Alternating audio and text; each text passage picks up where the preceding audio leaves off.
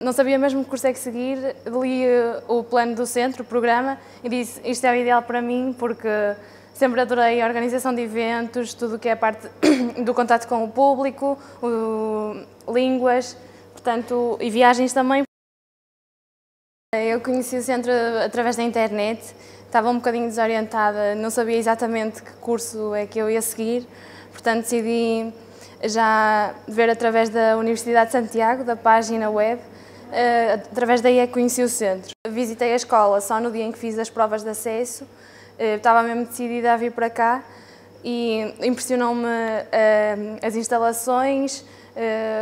o programa já, já conhecia, mas continuou com as explicações que me deram também cá na escola também. Continuei a gostar do programa e acho que foi as coisas que mais me impactaram de cá e que decidiram, que me fizeram decidir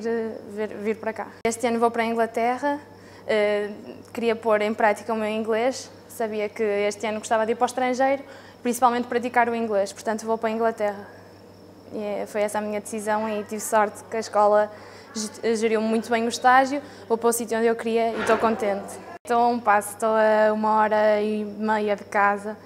hum, as comunicações são boas, portanto eu vou todos os fins de semana à casa, não há problema.